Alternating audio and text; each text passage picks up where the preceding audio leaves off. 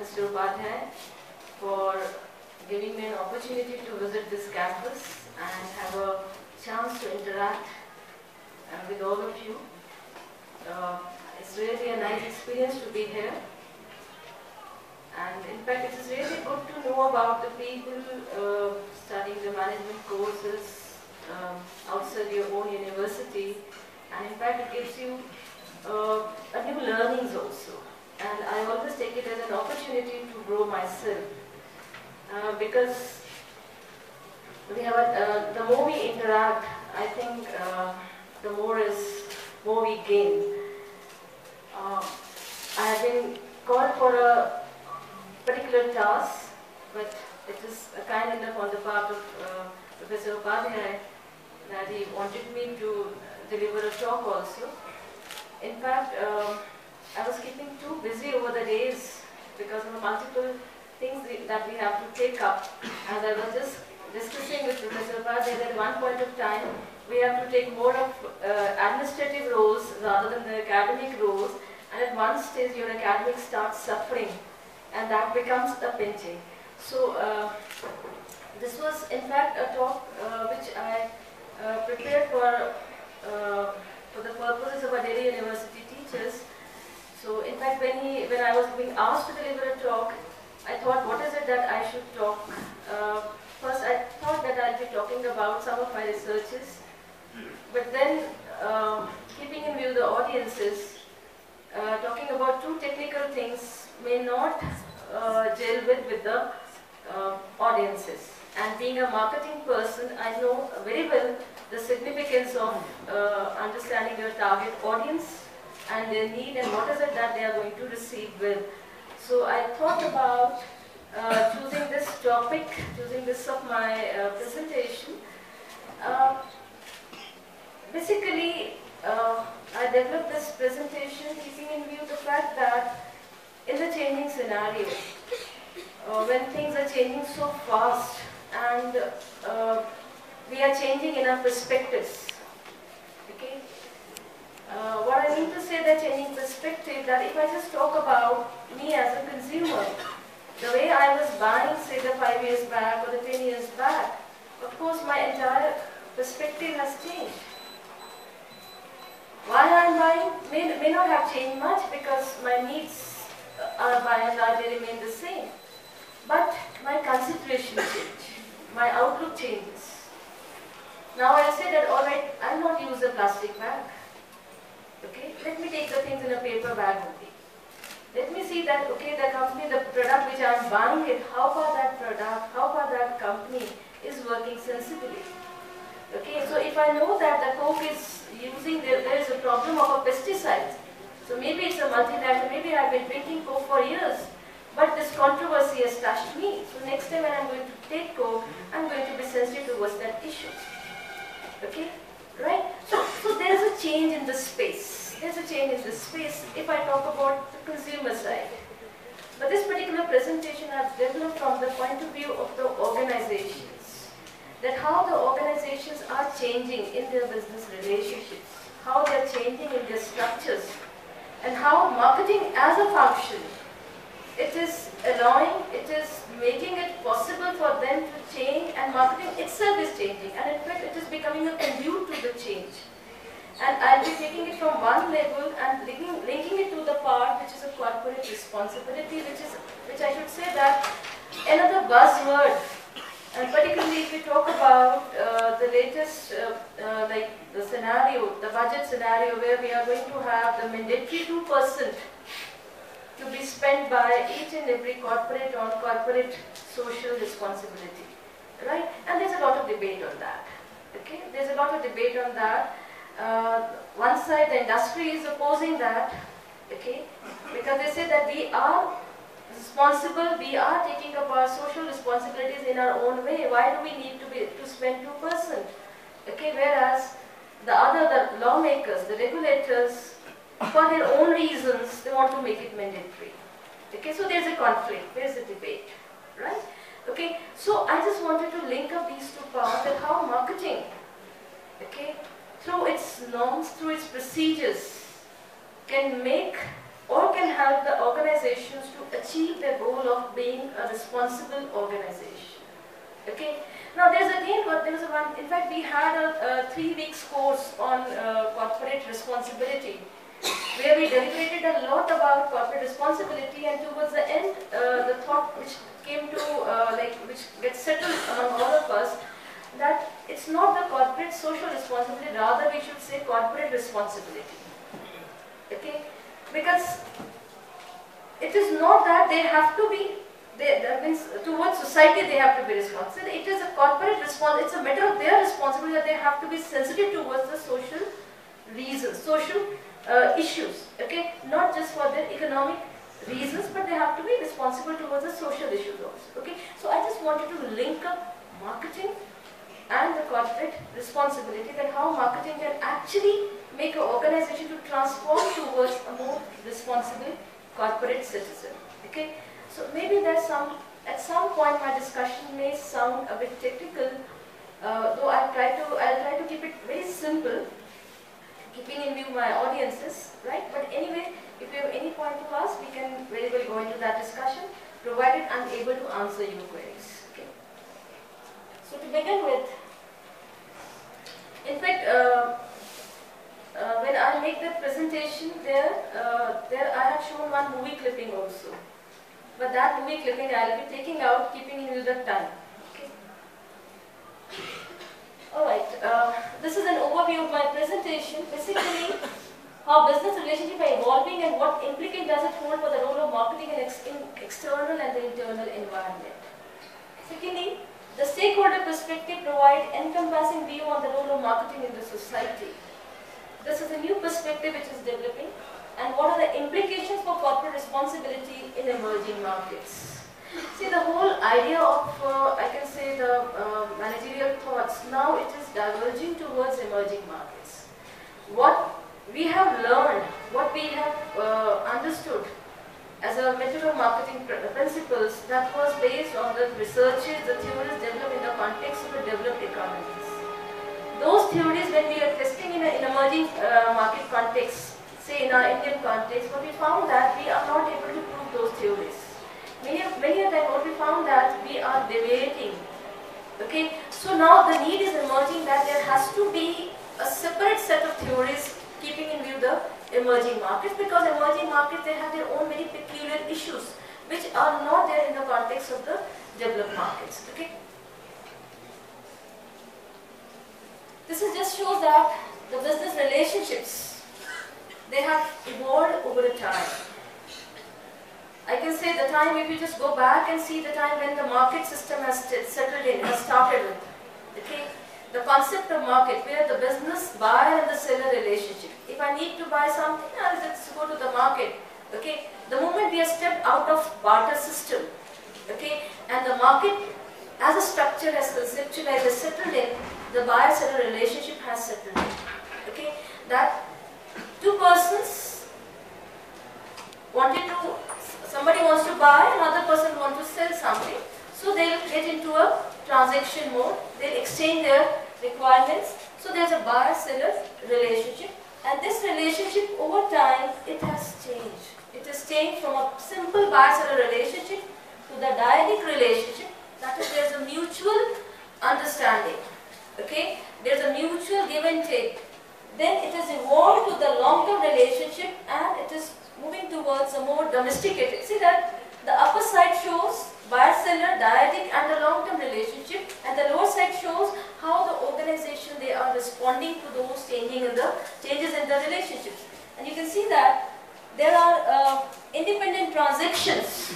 Okay, the buyer-seller relationship, today I want to buy something, I'm going to the seller X. Next I need something else, I'm going to seller Y.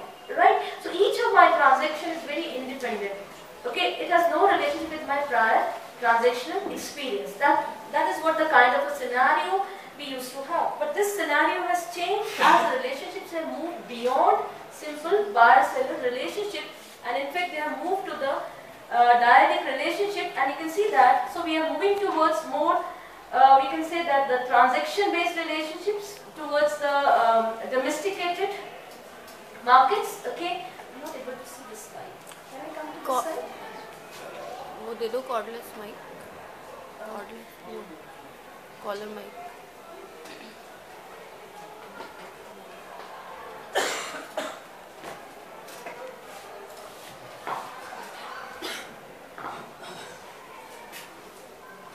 Okay, so there's a movement, there's a progression in the relationship, and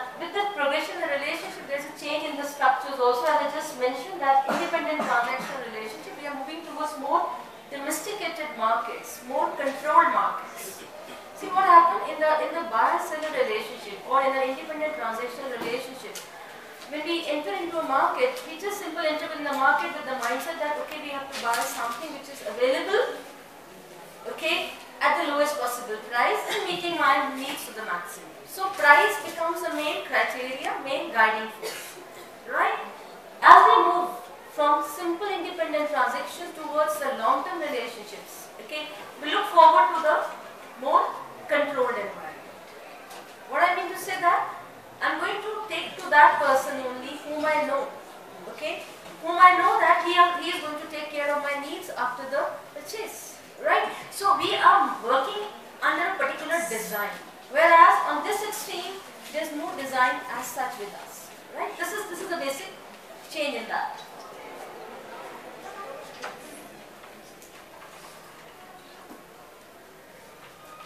So, as I said that with the change in the relationship, so these are the changes in the market structures, change in the business relationship. They have occurred in the wake of the changing market structures.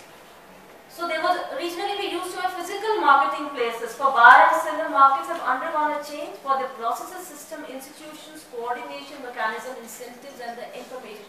Now, if when you are buying online, where is the physical market structure? There is no physical market such. Okay, right? At your own pace, at your own convenience, at your own time, you are transacting, right? So we have gone beyond those physical structures and the transactions which are impersonal, decentralized exchanges segregated time and space from other transactions are now more planned and administered. Okay? So I know that anytime I can buy, right? So let's wait for when, when there's going to be a sale. Alright? So I am deferring my purchases. I'm deferring my purchases or I'm reaching out to the seller because I have a facility facility available with me that I can compare the prices, I can compare the products.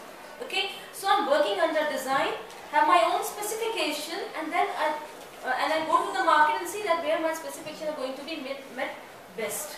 Okay, so this is with the help of technology, whatever the facility I have. Right, so there is a particular design that which as a consumer we follow. So there's a market control mechanisms working with the premise of maximization of profit where the intent is towards exchange-based transactional relationship resulting into mutual satisfaction growth. This is what we used to have in a physical markets or in a market-based systems. We are moving towards, as I, as I said in the previous slide also, we are moving towards the domesticated markets where we believe more in administration, we believe more in control mechanisms. Okay. Now, who is going to have a control? That becomes another part of the story. Of course, we say there are, there are going to be certain norms. Somebody is going to be more powerful. Okay. Your size may give you a power. Your negotiation skills may give you a power. Your networks may give you a power. But, but the thing is that things are not left to the market alone to guide the channelization of the resources. So this is what I mean to say That they are work, they are appearing more like wheels. Okay? When I say the domesticated market means that I'm working in my known area. Okay? I'm not leaving the things open. That let the market decide what I'm going to get. No. Things have changed now. Okay? Things have changed now. Also, uh, uh, mainly because there's a change in the competition scenario. There's a change in the consumer needs. There's a change in the business requirements, right? So we are just not leaving the things open to the market to be decided by the market. Rather, we are working in a particular design that is a domesticated market or a wheel type structures. Okay, where I'm surrounded by all my areas of concern. Okay, so these forms they are very flexible forms of business structures. Unlike traditional charts having long so I want somebody say instead of, I'll just give you a small example. Say for example, in a, in a company I need to do a research, I need to know the market. So one thing, one option is that I hire a person, I go for a hiring spree, okay, check out all the skills which are available and then hire a person with a certain qualification and give them the task of uh, say, uh, uh, doing a market research. That is one Okay, so we, we have a separate department, we call it as R&D department headed by a certain person. But in the chain scenario, okay, the things are working differently. Instead of hiring, what we can do that, just go out in the market, find out which other firms are, which other companies are there who are specializing in the research task only. So let's let's ask the McKinsey people, or let's ask the Ernst and, Ernst and Young, okay, because they are the people who have the system, the processes to do, to do the best marketing research? So I just take my need to that company, I just explain all my uh, all my strategies and plans, and then I ask them to do the the, the research for me. All right. So instead of me devoting my time, devoting my effort to, to the research part, which is not my core area, I'm asking, so I'm aligning with somebody else whose core area is to do the research. This is what we mean by the domesticated market, that checking out the skills where, wherever they are available instead of just building all the skills on my own. Okay, I'll just give you another example. This is a very interesting example. Uh, probably you all have uh, uh, read about it. Uh, we know about the Ford company. Okay, all of know we know about the Ford company. Now they are selling which which car in the market? Alright, alright. So there's a familiarity about the Ford. That's good. And I can see that uh, the proportion of uh, uh, audiences, I think more, almost equal, men, male and female, or more of men. So we can say that there's always, boys are always, uh, they, they are always show their interest in the car. anyway, uh, what I want to tell you about the Ford that there was a time when the Ford used to build all their skills that required to build a car. They say that we are selling a car so long as it is a black car. Because they were carrying a notion that that everybody wants a black car. And so, so they build all the capabilities within themselves. Right from their sourcing till the supply, distribution, all the competency skills they have developed within their organization. It was a large organization. Okay, this particular notion on their part, this particular strategy was failed for the first time when the General Motors came with the variants. Okay, they came with the different sets of different types of cars and which, which were well taken up by the people, right? And that was a time when the Ford realized that no, their strategies are no longer working, right? So when we say the market structures, the traditional structures, pyramid structure. These are basically that you just create all the competences within you and try to, we call it as a vertical integration, forward or backward integration. You must have read these terms.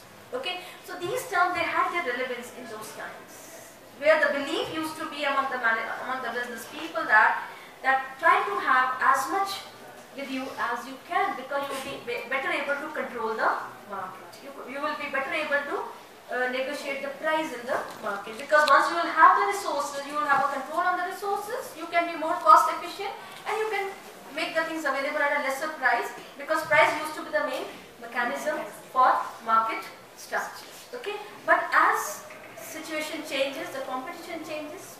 Okay, price no longer remains the prime consideration. People look for a design, people look for performance, people look for the services. So how can you bring all the all the things? How can you ensure uh, so much of uh, multiple need satisfaction, right? So in that case, those pyramid structures they start failing it, and we move towards the domesticated markets. This is what I mean to say: the pyramid and the flexible. These are the honeycomb structures. If you look at the some of the big organizations, the large organizations, okay their structures, they have, they have changed from, see if you look at the IBM, if you look at the Dell, if you look at this Ford, if you look at uh, uh, say um, uh, some other companies, they all are changing, they have, over the time they have changed themselves from pyramid structured companies to the honeycomb structures, the loose structures, the wheel type of structure because those structures they provide them flexibility. Okay, that anytime, anytime they can change, they can respond to the changes in the customer needs because now they are not moving towards having all the skills within them. Already the skills have changed, so let's reach out to the some other company which is better able to serve the customer needs. Okay, so what you need, what you need basically networking, what you need basically the better negotiation. Okay, what do you need? A better skills, better organizing skills. It's not that you require the competencies in terms of how much best you can produce. Okay. Now today some people are asking about, like in the case of IBM, what IBM now stands for. IBM was first uh, initially known for their computers. Okay. But for years they have left it. Okay. Now their competencies are somewhere else. Now I'll give you another example of a Kodak. It's a very very sorry story. I, I urge you people to do read the Kodak story. It's a very good business example. That the Kodak was resistant to change. Right? Now that they have lost their market. One of the first five companies of US, now they are struggling for their survival. They are struggling for what is it that they made for. A company which was known for their pictures, for their cameras, camera rolls throughout the world. Now they have lost their ground. Only because they didn't realize that the structures which they were having, okay, which gave them a, a more uh, mileage in the market, those structures they have become too rigid, okay, to make them adaptable to the changes in the market, right? So now they are going towards the uh, uh, the imaging solution and all that. They are they are, they are searching new grounds for their survival and and large employee base it has reduced to a very less number and the huge uh, space that, that they were having in the US that all is lying vacant. It's a very sorry story to, to read in that. Okay, but what I mean to say that the structures, okay, in the changing times, they are changing from rigid to the wheel type honeycomb structures. What is happening? The organizations are becoming borderless. This is what it means. Okay? Earlier, organizations, there used to be a kind of a secrecy. If I'm holding some know-how, let's be very secretive about. For years, Coke never used to share the formula of their code. Okay? But now, time has made them realize it is not the thing that. Let's be more transparent. Let's be more sharing. Okay? Right? So, let people, let allow people to uh, to uh, look within your organization. Give them an access. Let them know about how you are working. Okay? How you are planning. How you are designing. How you are strategizing. Okay? Right? So, transparency has become more, we can say the key consideration. Because the organizations which are rigid, they are losing their credibility.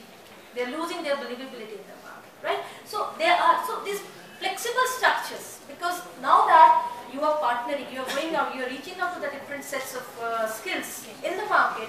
So you have to share your uh, idea, you have to share your plans, right? So somewhere the borders are diluted, right? So organization they are becoming borderless organizations and the clear distinction between firms in the markets, between the company and its external environment, it has dissociated. Okay?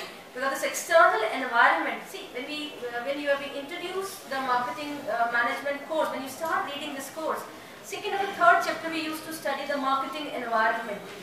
Okay? Right? Micro and the macro environment. Now, the way we used to strategize for uh, surviving or coping with the changes in the micro and macro environment, that was in the context of your rigid structures. Now we imbibe that environment through our organizational structure, through our business, we can say the uh, business planning. Okay, instead of departmentalized uh, planning, we are going for more of a networking or the partnership, right? So environment, it is being inhaled, taken, taken up within the organization.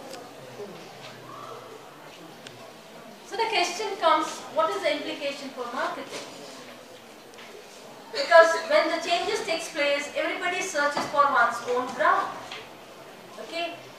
And marketing is not, I say that, uh, one of the basic business styles. It has grown only over the years in response to the changes in the environment, changes in the uh, circumstances. Our core functions is production, finance, HR. Okay? Right? sales is a basic function. It is basically the sales management which has grown as a marketing management. Okay? Alright, this is this is very initial. If I say that in the beginning of the 20th century, okay, when people started realizing the significance of sales and gradually they started realizing about the importance of the marketing, it was around uh, 50s that marketing as a discipline, it has started taking up its own form. Okay, so it is something something which is a very new field of study. Okay, so being a new field of study developed over a regional or the basics, so it has shades of economics, it has shades of your psychology, it has shades of your uh, anthropology, sociology, and all that. Okay, but now that uh, with the changes, it has grown to a separate discipline, right? And in fact, it has become a core management area, right? Now that today, if we are talking about marketing, we are talking about marketing as a, we can say, a conduit to adapt to the changes in the business environment. Okay, let's see what implications for marketing. I just take you back to the uh, to the story, entire story, once again, just to show that how marketing has changed. Very briefly, very briefly about when you say that the transaction-based relationships, okay? So, in, in that time, the marketing was simply, uh, the role of marketing has changed, okay? Basically, it was a trans, uh, the, the role of the marketing was just to look for the buyers, okay? But with the time, it has changed, it has redefined, and I say that it has taken a new avatar. Okay, have you seen this avatar movie? Yes, yes Okay, so it has become an agent of change in the organization structures. This is the role which the marketing has taken up. Looking at this, in the pure transaction, when I say the buyer-seller relationships, transaction-based relationship, Marketing was simply to find the buyers and is focused on the sale, the single event of transaction. So basically, market. But this is this is at times uh, whenever we we are being asked to define what is marketing, so people used to say marketing is selling. Okay, then the teacher corrects. No, marketing is much more than selling. But when the relationship is the only transaction relationship, we draw a parallel between the marketing and the selling. Then we look for the repeated transactions because there is always uh, there is always we can say the insight that okay independent transactions are there but every time if I'm going for an independent transaction then my cost of transaction will go up enormously right as a seller if I have to look out the new customer every time that means I have to incur a new set of costs every time I'll no longer be uh, profitable in the market right so just to check those cost of reaching out to the customer, searching the customer, right, delivering the, to the customer. So what we look for, repetition in the transaction. Okay, right? So this repetition become possible if there's a trust and the credibility.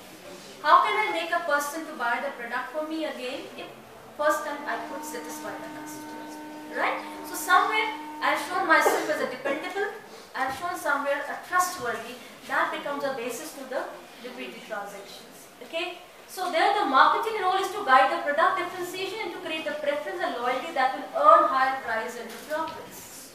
Somewhere I have to make a person understand, the buyer, that look my product is different. So what happened? We used to invest those areas which are giving me differentiations. Right?